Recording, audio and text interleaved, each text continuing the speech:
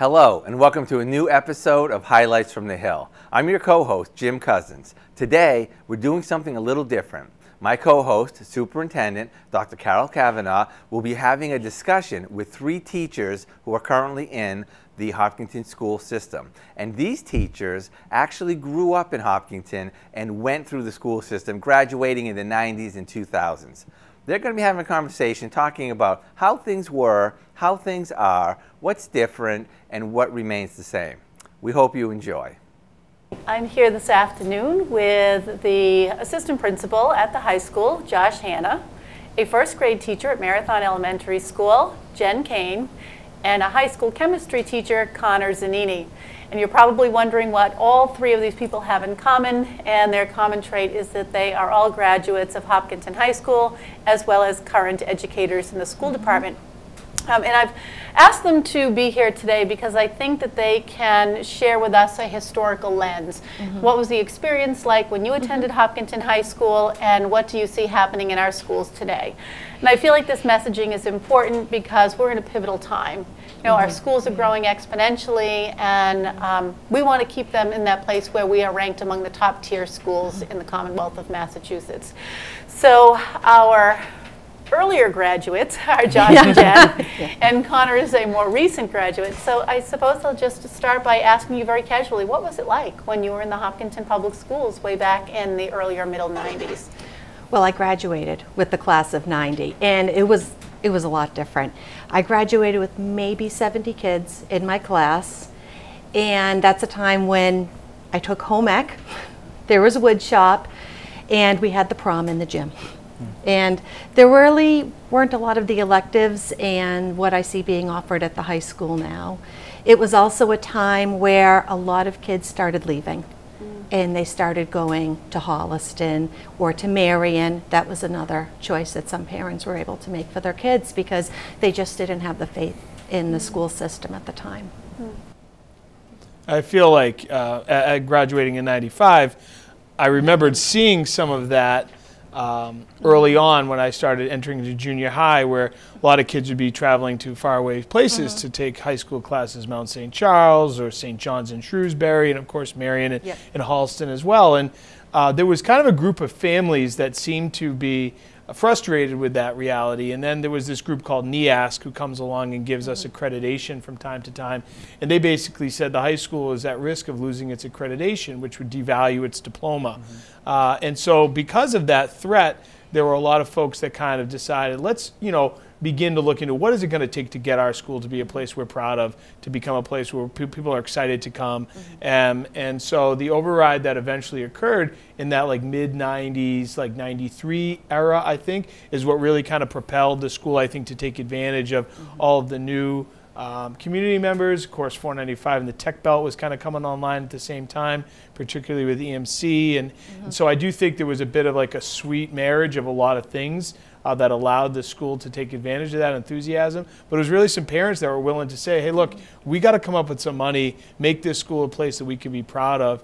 And I bet our kids will show us the way. And I, I feel personally like, sure enough, we have, you know. And the towns continue to double down when necessary over the last 30 years, and each time it's paid dividends. And, and for the school system, in my opinion, to be sitting where it does uh, across the tops of the state, which really is the top of the country, and that, that would be the it top is. of the world, that is because we've invested in it. And so I think it started back in, in those early 90s where we saw something we didn't like and we made some adjustments, and now look where we are today. We're so proud. But mm. to your point, we're really at a crossroads because our buildings are swamped.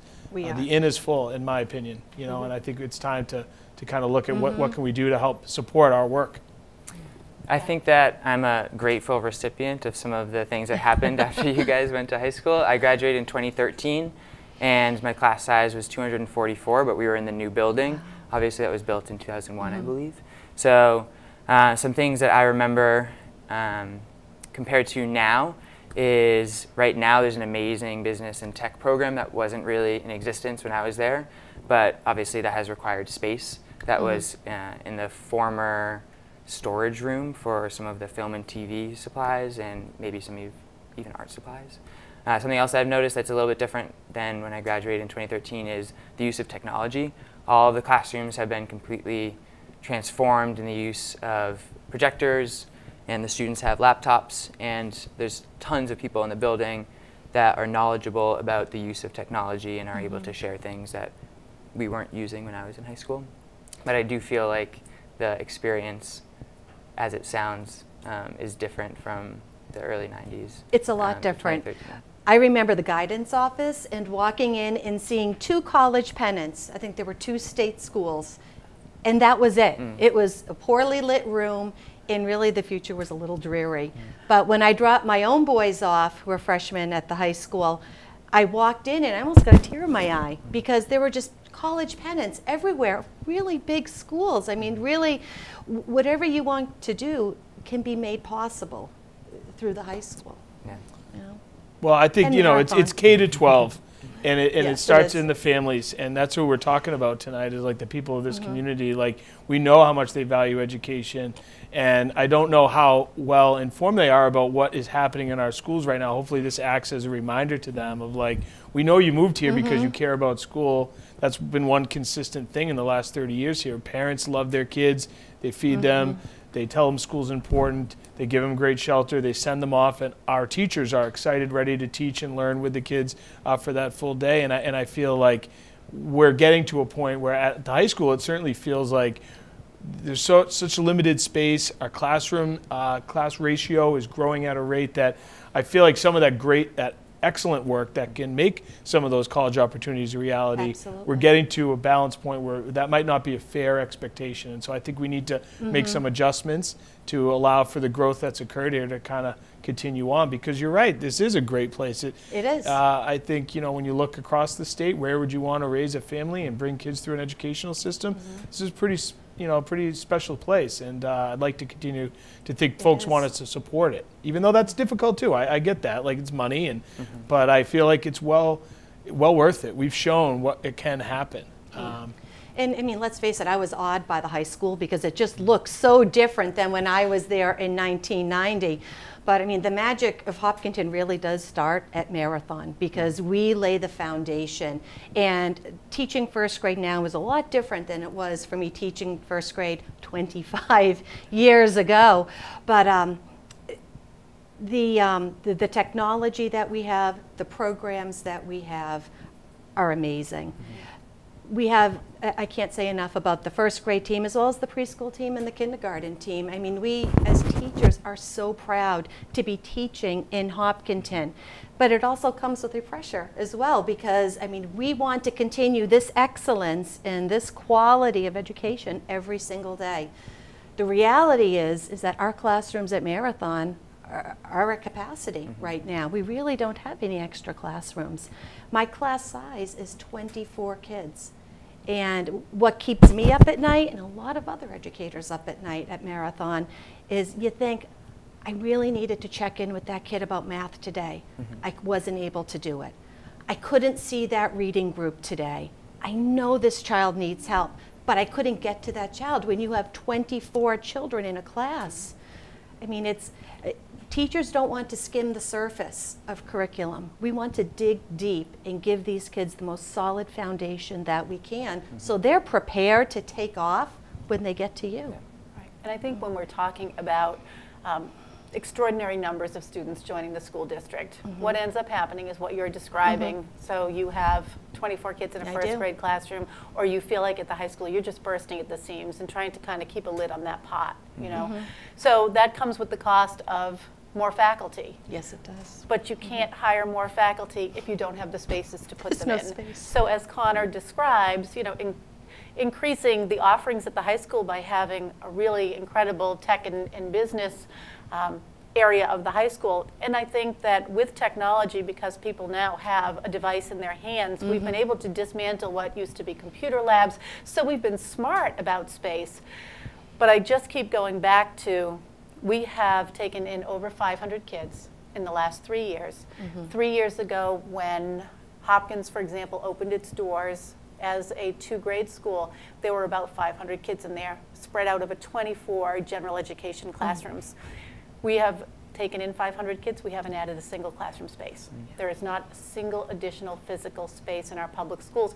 So I think that's why we're feeling what we're feeling, mm-hmm. and we have that fear of education and its high quality being compromised at this point in time. Mm-hmm. I've heard this expression bursting at the seams a lot, and I just mm. noticed or realized that when I came to interview for a job at Hopkinton High School, I talked to the former science department chair and I said, "What are these tables doing in the hallway? What are these, you know, gathering spaces?" And it was because we were quite literally bursting at the seams. The classrooms are flooding into the hallways, whether it's a study hall or it's the library space, or we just needed more space to manage groups of students who wanted to study or who wanted to meet after school. And um, kind of illustrates, I think, that expression of bursting at the seams. There's, there's not enough people, or not enough space for those people in the classrooms, whether it's during a study hall or during a time after school where they need to find a quiet place to work. Yeah, and when you, you think about the historical perspective, right, in the early 90s when there weren't enough kids, everyone was leaving.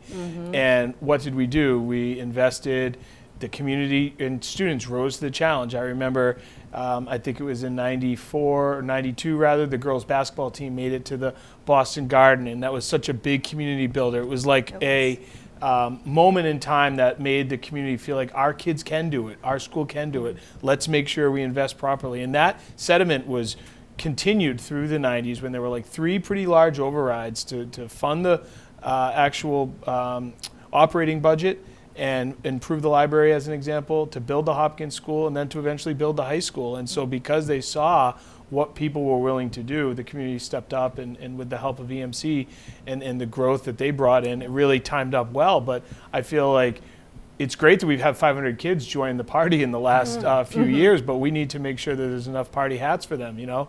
And so I think that this is an opportunity for us to kind of see what we've done historically. And, and I'll often talk about like our teaching staff is so talented at the high school. Their, their expertise is unprecedented. And someone asked recently at a meeting, we had um, some ar- architects came to look at the high school and to look at some design options for added space. And they were asking questions about like, what are other things you're feeling that leading you to think that the building is too uh, small for right now? And I said, to be honest, I think our staff is such operates at such a high professional level. We haven't seen what I think would be happening in a lot of other buildings when you have so much sharing of classroom space, so much movement, so many more students. Like everyone is just carrying a little extra. Uh, And I think we're doing it because we have such a high level of professionalism. But I worry about, um, you know, this another year, two years. Will people say, you know what, there might be other districts that are more um, attractive to me, or I'm just burnt out because I know how to do this job at a high level. If I'm not given the tools or schedule to, to continue to do it, I, I'm not sure if I can. You know, and I think that's where the passion of great educators is seen, where, where they get frustrated, not because of things out of their control, just what they know they can do, and now they're not able to do it because there's either too many students or not enough space. Well, we want to be effective. Yeah. At the end of the day, we want to reach all of these kids, and it's it's hard to reach 24 children all at once. Right. And we have been effective, right? I mean, We you look been. at some of the MCAS data the last few years, and I mean, it's extraordinary. We've 87% Mm-hmm. of students score advanced in, in, in math or ELA. I mean, those numbers are just like, and it's there because the work of the teachers. Yeah. They're, they're so um, content well versed, and then they know exactly what moves to make around the students. And so, as long as we give them great places to do their work, I think it's just going to continue to project in that direction. Yeah. I feel like we are in a place now where we really need our community to step up. We need additional space at the high school. We probably need temporary space while we're figuring out what's going to be happening um, at the elementary level, but that would require temporary classrooms at Elmwood, temporary classrooms at Hopkins, and maybe in the not so distant future, even temporary Marathon. classrooms at Marathon, um, just to kind of get us over to over that hump.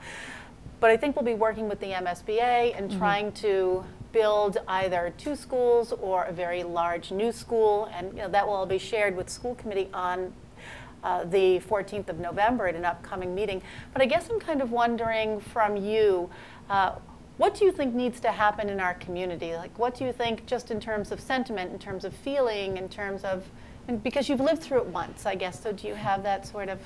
How did it look the first time? When I graduated, it was just very dim. I mean, mm. there you graduated just to get out of Hopkinton. I mean, I, I want people in Hopkinton to be as proud of Hopkinton as I am of teaching in Hopkinton and living in Hopkinton. I'm proud to send my children to Hopkinton every day. And I want to make sure it's not just my children that I'm helping, it's generations more of children because going back to what it was, it was really a self defeating sort of feeling being in Hopkinton in you know 89 or 90. Mm. But everyone rallying together and you know looking for the good of all children and maintaining our level of ex excellence and not even maintaining that level, let's get better yes. every single year. And I know that we can do it. We just need the tools. And I think what I hear you saying is you sort of adopted an identity because of the quality of mm-hmm. your schools, right? Um, and maybe that's even true when you describe going into a very dim guidance office where there were two pennants and they were both state pennants. schools and these were your options, right? Mm-hmm. How do we sort of keep yes. that excitement now alive where kids are identify are identifying themselves as graduates of Hopkinton High School? And I know that you have talked a little bit about that, about how at your graduation time you had a really strong sense of self. Yes, I think that um, obviously the graduating class in 2013 um, were recipients of all these great things happening in the district at the time. So um, as class president, I've tried to stay in touch with a lot of the graduates, and um, I know that there are so many students who have felt like they know who their authentic self is by the time they have graduated Hopkinton High School, or they have a sense of this is something that I'm passionate about, and this is something that I'm going to pursue because I feel like I have agency and I feel like I have the skill set, the toolbox that I need to mm-hmm. do well in this industry, whatever it might be. It could be a four year school, it could be moving across country to pursue a career in music, it could be going to a trade school or a two years associate's degree. But I got the sense when we were graduating in the auditorium that people were optimistic and they mm-hmm. thought, if I wanted to do something, I am completely prepared to do that. And I've seen it um, at reunions or in conversations with graduates when they tell me that they're working for companies or whether they're pursuing an interest in poetry and writing a short story or they're feeling really optimistic about their, um, you know, relationships mm. with employers or colleagues. Yeah. They just feel like they know what they're doing and they're enjoying what they're doing. I think the worst thing for something, the worst thing that could happen is people become complacent. Mm. I mean, I live, I grew up in Hopkinton. I graduated from Hopkinton. I left Hopkinton at, at one point, and we came back for my boys to start the eighth grade with a fabulous team at the middle school. And I, I don't think, I think people get used to, with being in the system for so long, with their children starting here in kindergarten, it, they're just used to how wonderful it is. I don't think people have a sense of how good we are mm. compared to other districts because when I pulled my own kids from a different district and I brought them in, I mean, I just got their MCAS scores. Everything went up. Mm. You know, it really, a quality district really makes a difference. Yeah. Well, and I, and I think in terms of like the, the question you asked, like, what do we need? Uh, in the 90s, we were kind of like, our backs were up against it. And so it was like a fight of pride. Like we're better than mm-hmm. what's being represented, and, and, come on, we need to prove this, and, and we were able to. Now we've proven it. We've been at the top, and now it's a matter of like, what are we doing to support that and to continue continue it to, to grow? It. You know, and I know for me personally, having studied at different colleges and universities, having taught in different environments, Hopkinton is a unique place. It's a special place with caring families and caring educators. And if I were to have the pick of any place to work with in the state, it would be here. And I've, obviously, I, I grew up here, but I've also experienced other places. We have what it takes, and we just need to kind of continue to grow it. And mm. I think and like the families here are so talented as well. Their kids are so ready to learn mm-hmm. and grow. And we think about our world's problems and like what we have against us over the next 50 to 70 years. Mm-hmm. We need this generation yes, of kids, especially these best and brightest kids, to be well prepared and enthusiastic about taking on those challenges. And, uh, you know, I mean, not to get too dramatic, but I feel like if we don't find a way to properly fund and support their experiences mm-hmm. in their foundational learning, the chances of us solving those problems uh, become smaller because these literally are the smartest kids in some instances mm-hmm. in the mm-hmm. entire world in this age bracket. So if it's not them that's going to help solve it, I'm not sure who. Yeah. Uh, so it's our time to kind of pitch in and, and, make sure we're we're appropriately um, you know, addressing our needs. Yeah. And Connor, I, I was forgot that you were a class president, as as was I, and I love connecting Yeah. with alums Yeah. across the uh, across the globe that are leading in many areas and doing amazing things. And it, it you know, it all starts here, as the saying goes. And I, I feel like you know, we're, we're this isn't just hyperbole. We really do have a lot of amazing things being done by We do. Hopkinton grads uh, all over the place. So. Yeah. I'm always impressed to hear what they find themselves doing and really how comfortable they are doing the things that they are doing. I know. I don't think I knew that the two of you were both class presidents, so that you're both here. Yeah. Feel If back you- home. If you had just one thing that you could immediately have in your schools, um, just one wish granted, what, what would that be right now? I would love a from- K-1 class size of 16 to 18. Yeah. I mean, we, we're the foundation. We need to produce solid readers, solid writers, solid mathematicians. We, we need smaller class sizes, so we need extra classrooms, we need extra teachers. Right.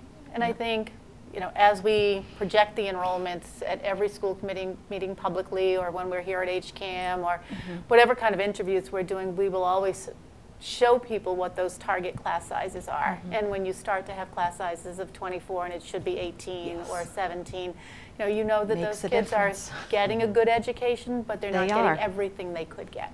That A- is And true. that's frustrating because we want to give them everything. I mean, we, we love what we do, Yeah. so we want to give them the world. And you all love Hopkinton. We do. Because it's your home. It really. is. Yeah. Um, similarly, I think in a science classroom, um, sometimes I'm restricted by lab space. So right now we have 24 lab stations, and if I'm doing a lab, I can do it fairly easily with 24 lab stations, but only if that class has 24 students.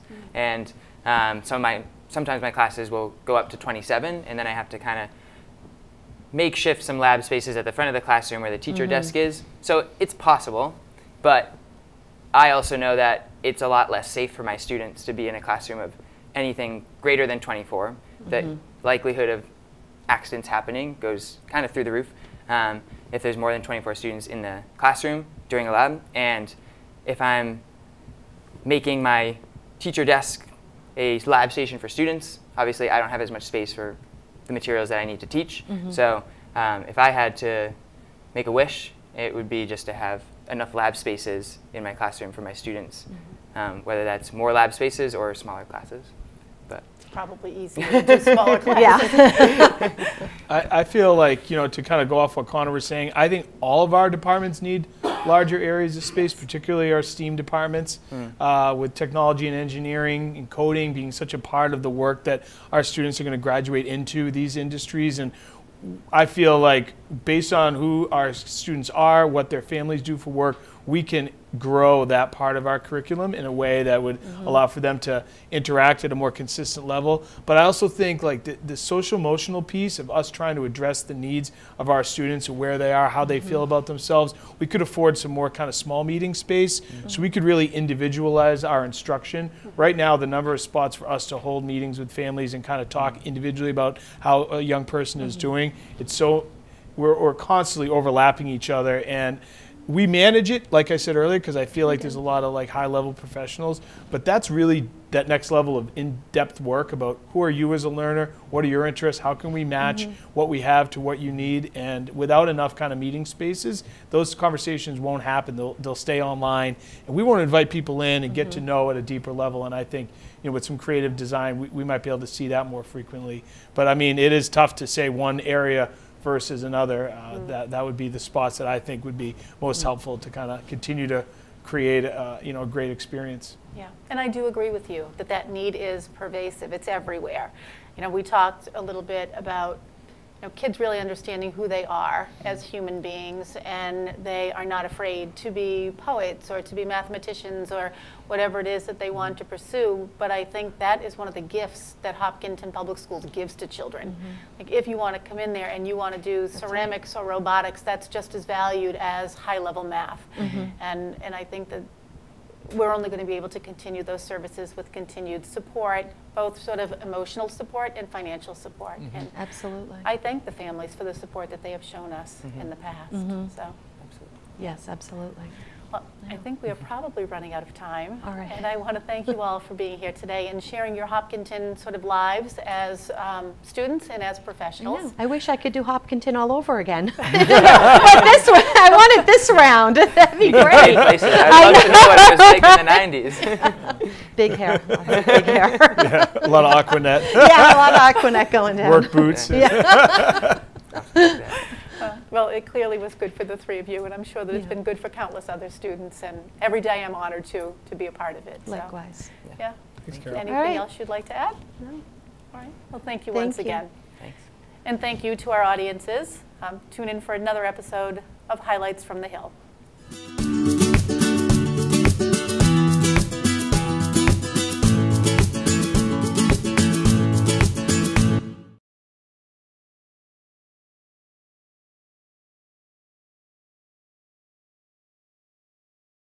Have you ever considered texting and driving? If so, you should know the consequences. If caught texting and driving for the first time, you could get an $100 fine plus your license taken away for 60 days. The consequences only get worse the more you get caught. Even if you don't get caught, there could be serious effects. You could get into a car accident and hurt yourself or someone else. Texting and driving is a very dangerous combination, so stop before this happens to you.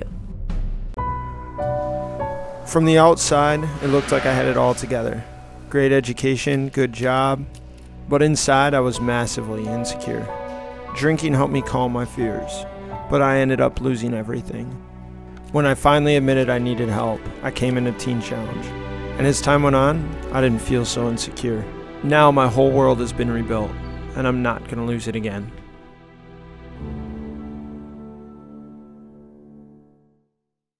Hello, my name is Officer John Corden of the Hopkinton Police Department. I'm here to explain some important information regarding opiate overdoses under the Good Samaritan Law, Chapter 94C, Section 34A. First, a person who in good faith seeks medical assistance for someone experiencing a drug-related overdose shall not be charged or prosecuted for possession of a controlled substance. Second, a person who experiences a drug-related overdose and, in good faith, either seeks medical assistance or others seeking assistance shall not be charged or prosecuted for possession of a controlled substance. Third, the act of seeking medical assistance for someone who is experiencing a drug-related overdose may be used as a mitigating factor in a criminal prosecution under the Controlled Substance Act. Lastly, a person acting in good faith may receive a Narcan prescription and administer it to an individual appearing to be experiencing an opiate-related overdose. For more information, please contact the Hopkinton Police Department or Denise Hildreth, Director of Youth and Family Services. Thank you.